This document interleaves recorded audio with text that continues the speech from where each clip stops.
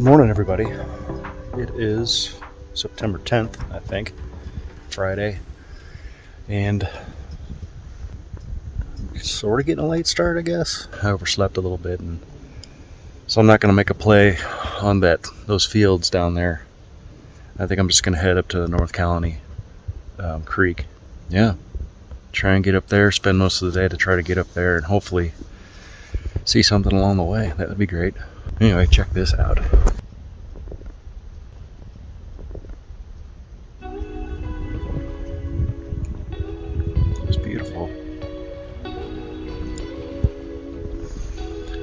I gotta get back on the trail, so.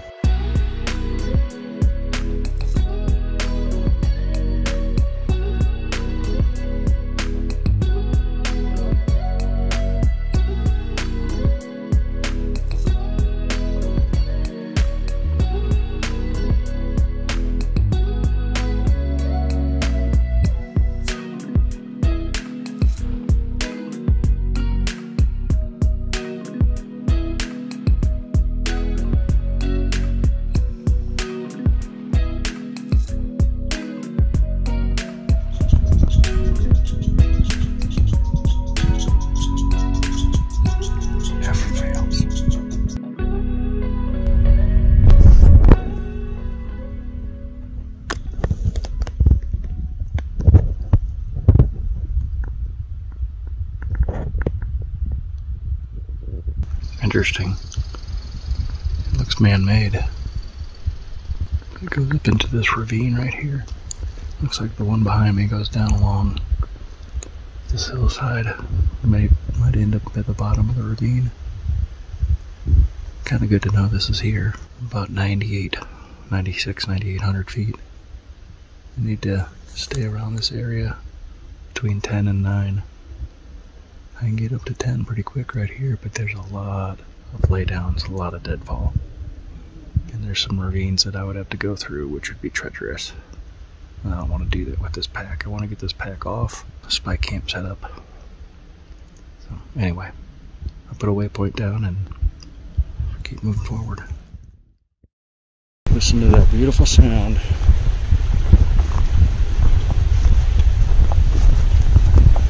Oh, there's a culvert. There's a culvert here. Wow.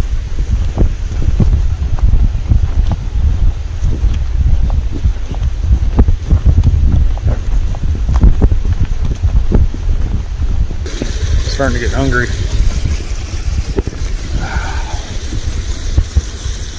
Pretty. Pretty sight. For brunch, we are gonna have some oatmeal. With some peanut butter. It's my favorite breakfast.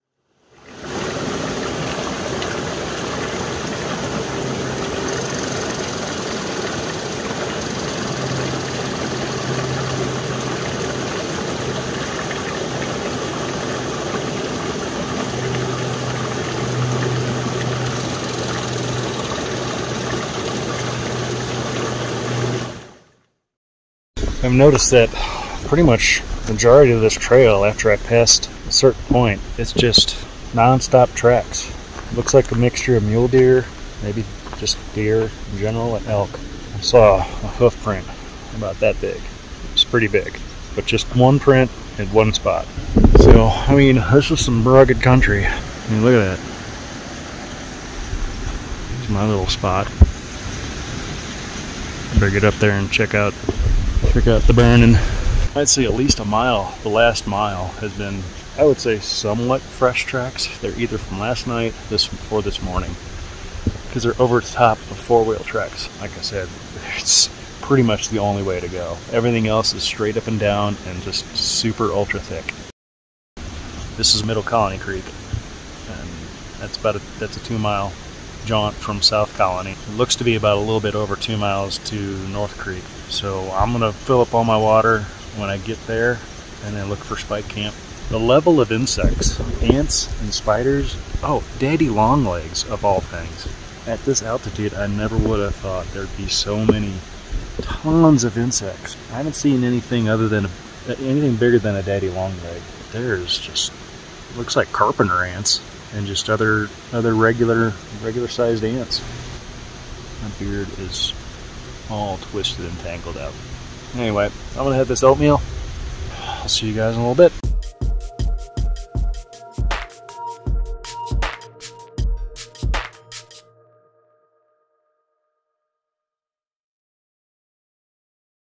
Mountainous beavers.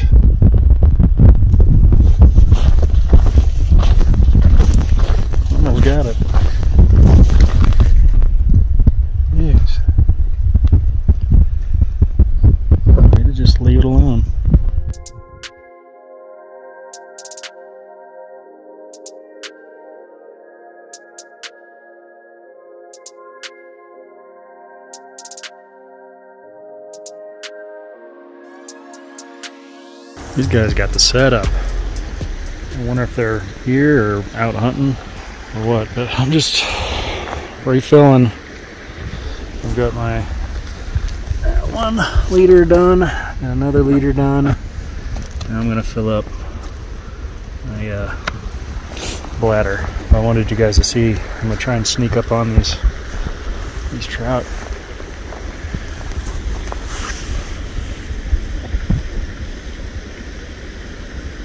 They're little guys. There is one big one in here, bigger one. Can't tell what they are, if they're brooks or browns or cuts. There's one that's the bigger one is really pretty. There they go. There's the bigger one. Little guy right there, he likes this little shady spot.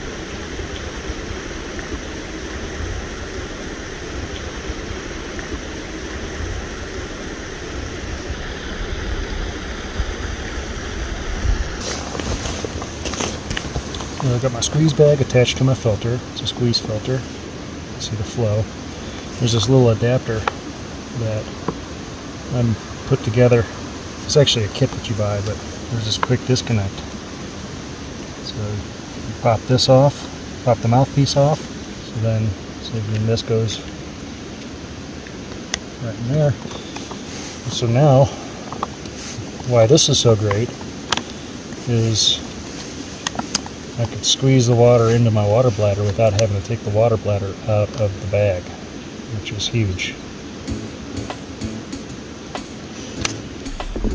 Pretty cool.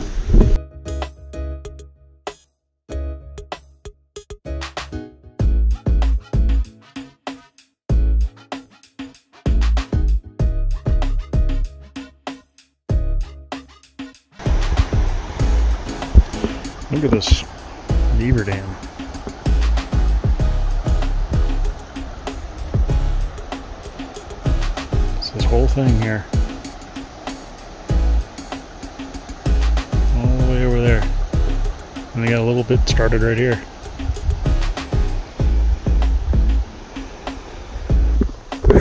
Man, it's pretty warm. I don't want to go back up the trail where I came from.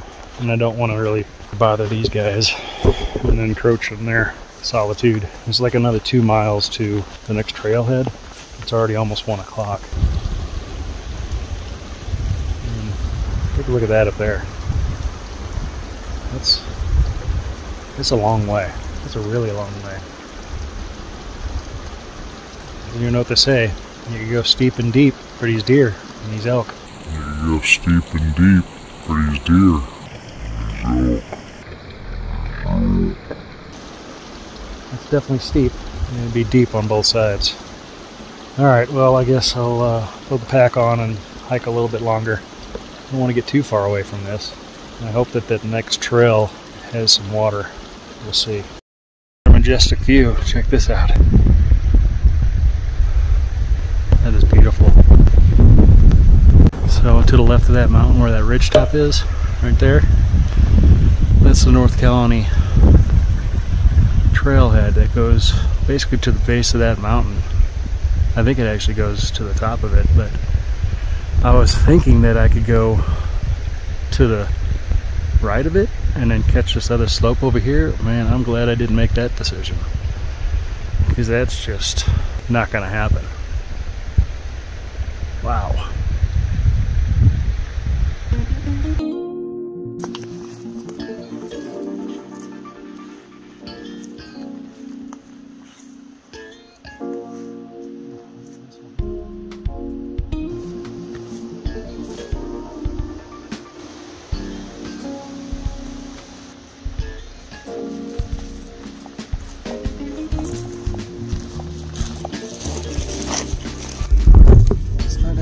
View. Like on Music Pass or back there by those guys. It should be mostly shady. I know it's right directly in the sun right now. And it's pretty close to the trail, plus I'm close to that water. I'm gonna throw down camp. It's um, quarter to one right now. And hopefully be set up here in the next 10, 15 minutes and uh, come up with a game plan.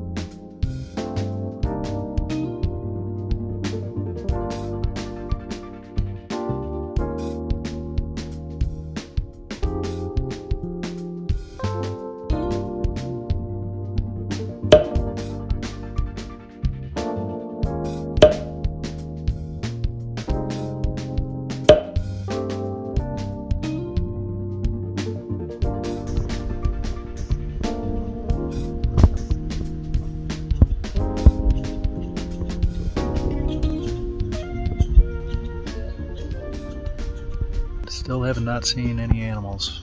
And what I ended up doing was I just walked the trail. I kind of still hunted. When you're in that mode, you're pretty much walking very slow, just head on a swivel, stopping every 10 15 steps. So that's what I've been doing since 3 o'clock. It's now quarter to 7. And I'm just beat. The three guys on four wheelers drove by. Those are the only people that I've seen, which is good. Um, a lot of this country is just super thick. I mean, I don't know how you can hunt this without, you know, bulls bugle, bugling. There's so many pockets. There's so many. There's so much ground here for them to hide and just go up a little off trail, a couple hundred yards. I'd walk right by them. I would never even know it. Seeing all those tracks on the trail kind of made me think, well, it's the path of least resistance, so maybe I'll get lucky. But it didn't happen. With all that being said, I'm having a blast. I'm this is so much fun. I mean, I highly recommend if you have the if you physically can do it, if you financially can do it, I highly recommend doing it. It's a lot of fun getting out by yourself, decompressing, getting back to nature, not letting any thoughts pop into your head. Just just being out here is amazing. I'm miles away from a town, and in fact, I'm over five miles away from my truck. Not sure how many total miles I've walked today. I would say at least five, if not further. Oh, and another sweet thing. I didn't want to bore you with the preparation, but you will get to see what it looks like. So, stand by. Oh man, it's one of my favorite dishes. Kind of looks like dog food. Kinda looks like dog food. Wow. Let's mix that up a little bit. That's much better. Yummy. Beef stroganoff in the backwoods. Doesn't get much better than that. Oh, I got some treats for myself. I got a Snickers and a payday. I'm starving.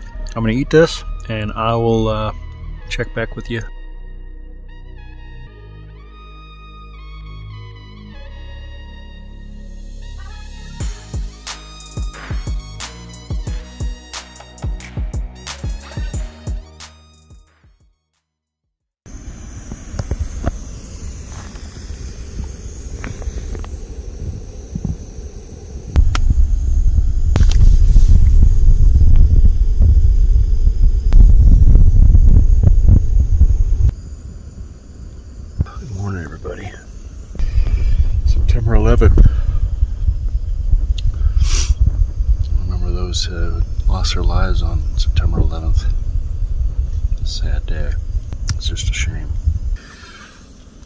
it's 6:30.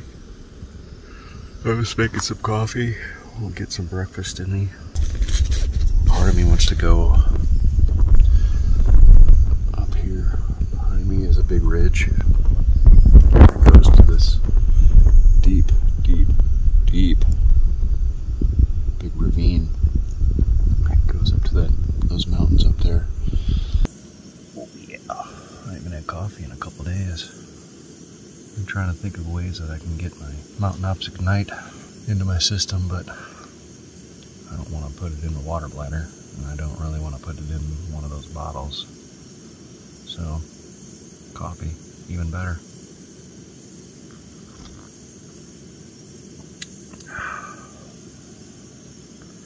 That's good.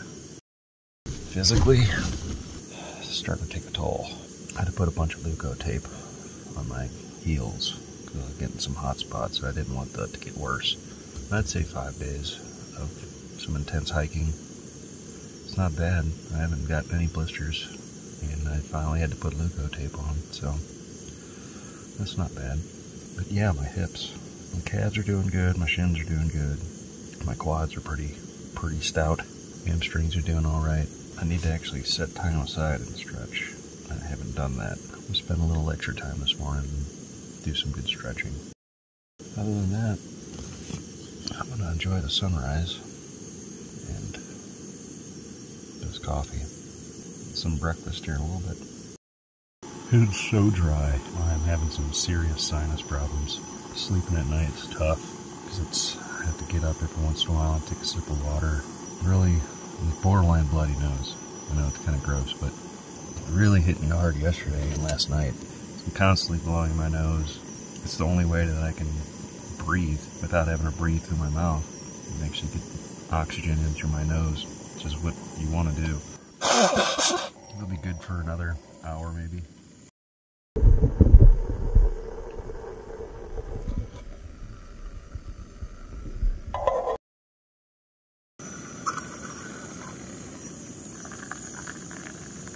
Yummy goodness. Mmm, can you smell it? You can barely see it. hmm For those of you who might be wondering, this is a fresh shirt. I've Got fresh socks on and fresh boxers on. I'm not rocking disgusting dirty clothes on day three. Yeah, so there you go, in case you were wondering. There you go, in case you were wondering. Which I'm sure you were. I'm going to show you guys this. I don't know if you can see it, but is my food bag hanging up there.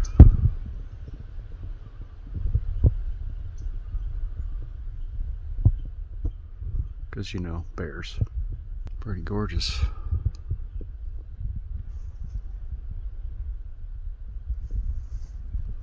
Even in the middle of the woods.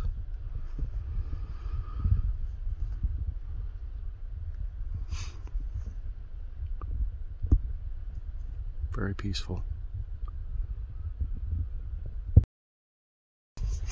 Today is opening day of muzzleloader here. Not heard a bugle, not heard a shot. Spoke to a couple guys. They don't bugle. They, they think it's too early. If this was back in Missouri, there'd be blasting already. So either there's no elk in this area, which is very possible, or nobody wants to come back here. But anyway, I'll let you know if I do, and I'll check back with you guys in a little bit. Alright guys, like my hat? Pretty sweet, right? I'm at the top of the ridge here, and I think I'm going to drop down a couple hundred feet. I can imagine this is going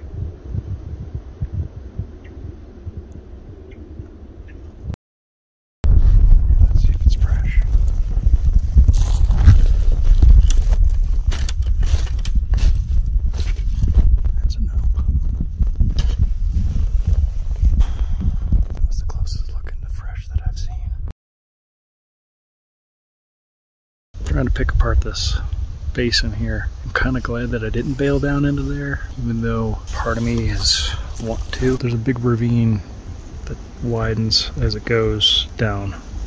This mountaintop right here, there's a saddle right here that I thought was actually low. In actuality, it's very high. yeah. That's why it's important to figure out your contour lines and your elevations and stuff like that before you just go making a play. I'm down to a liter of water. If I leave now, then I can get all my water situated, get myself plenty of water and plenty of food, kind of regrouping and thinking of a game plan instead of just bailing down in there. Somebody blasted off a bugle this morning about 10 o'clock. They either shot it down this ravine or they shot it down the ravine that I just came from and there was no response. So I didn't hear anything else after that. I've been hearing faint bugles here and there uh, throughout the morning, but they've pretty much stopped since about noon. It'd be really cool if they would start bugling, or if I can hear some freaking gunshots. Then I'll know that there's actually elk in the area. Well, guys, I made an executive decision. I'm gonna head back, get water, and then if I have enough time, I'm gonna hunt the uh, ravine behind me. Uh, there's a couple benches back there, and uh, maybe I'll get lucky. If not, I marked a whole bunch of benches that are above me that I didn't even look at yet. I'm not going to bail off into this hellhole. Not yet, at least. I think that's a wise decision. So, I'll check back with you guys in a little while.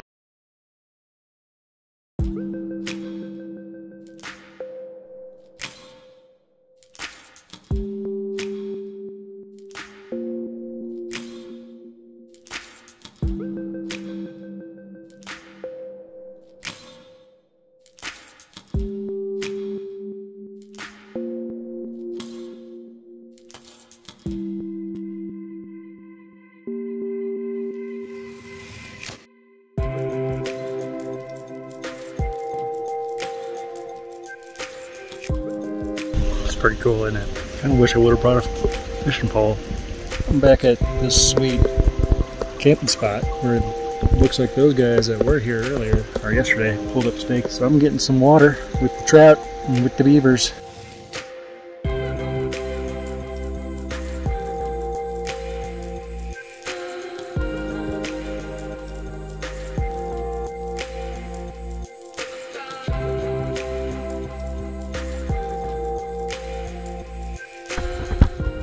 Yep, Crocs and box.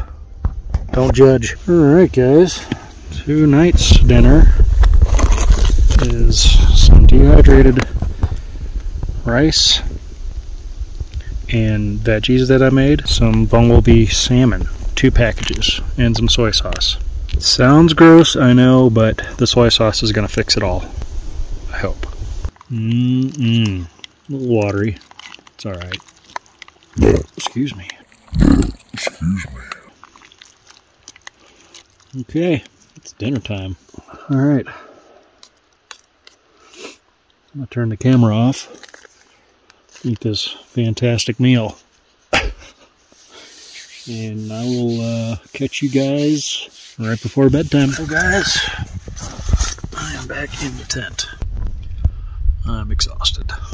Belly's full. That was a big dinner. It's good though got everything kind of organized and packed up as much as I possibly could. I'm just kind of waiting for the sun to go down. It's almost down. You can see it. Yeah, I'm just enjoying the heck out of this. Wish I had uh, a dad or brother or Samantha here with me.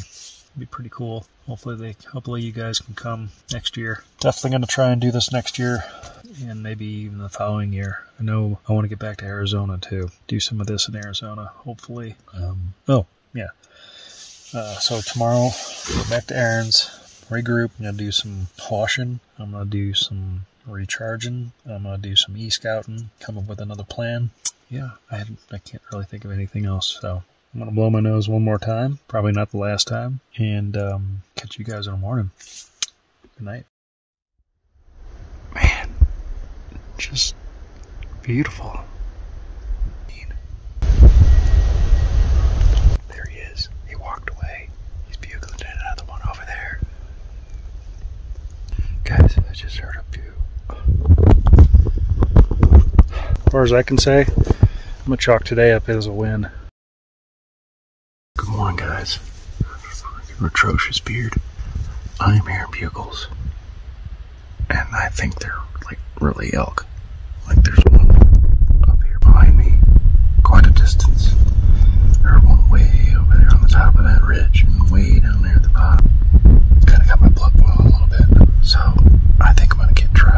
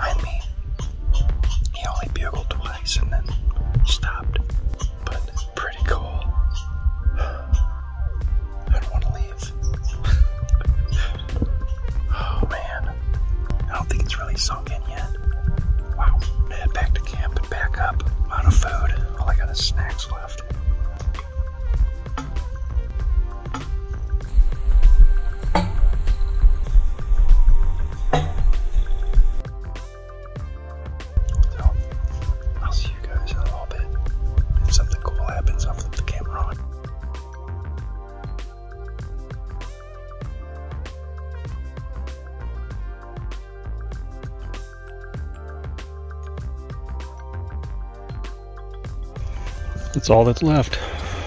It's like camp number three.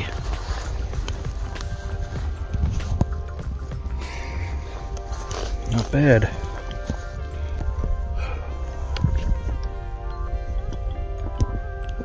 Shove off.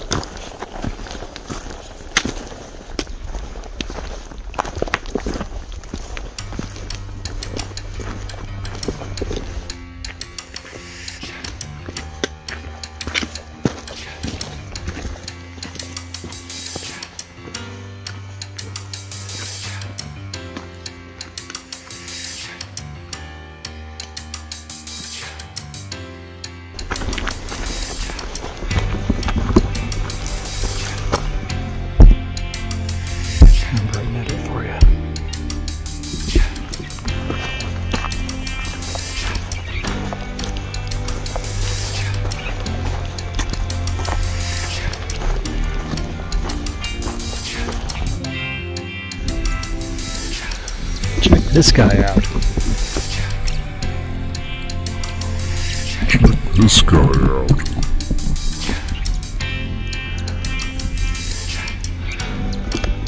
Where'd you go? There he is. What do you want in my backpack?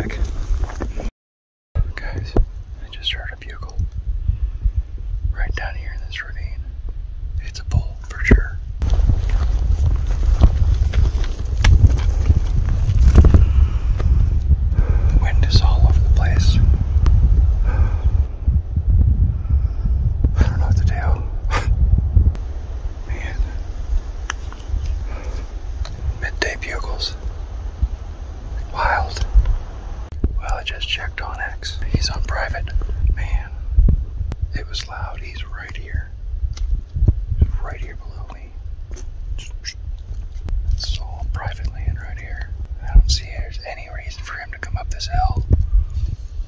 My beard is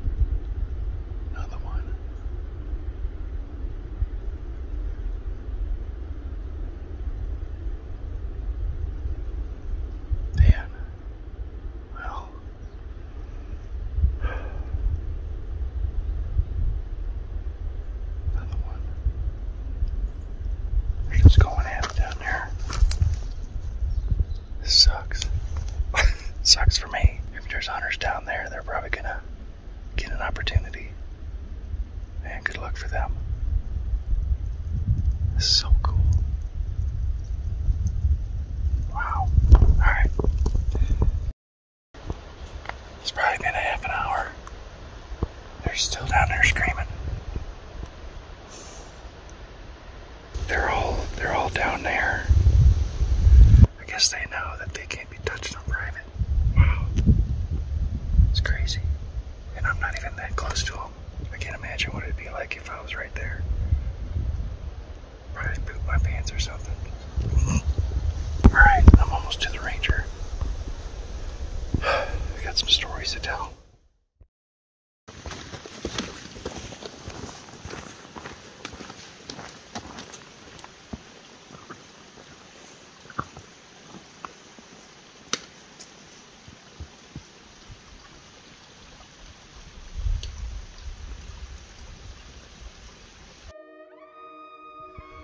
Look at this.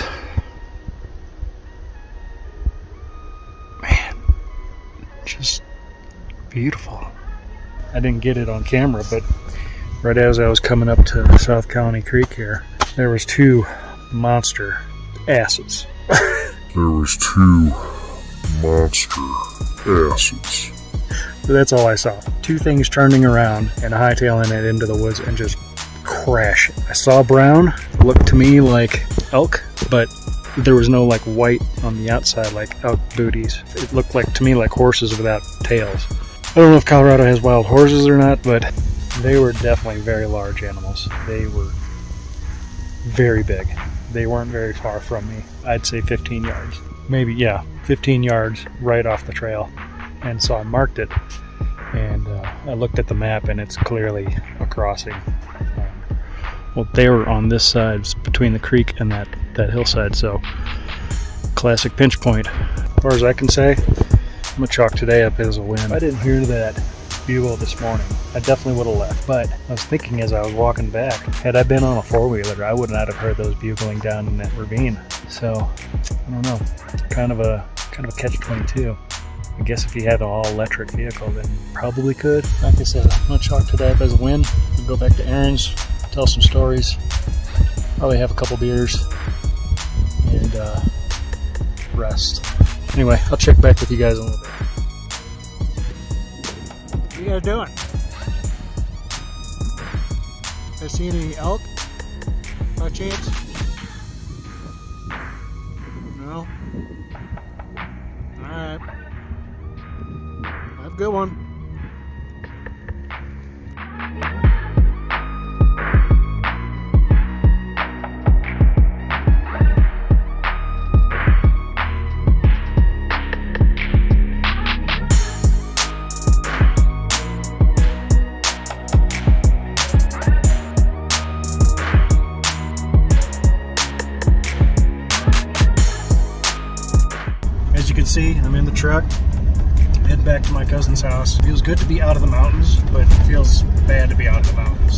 Starving, I'm thirsty. I've been just chewing on snack foods and drinking what's left of the water that I have, and I'm still thirsty and hungry. So I will uh, probably check back with you guys next time I'm heading to the mountains. there was two monster asses.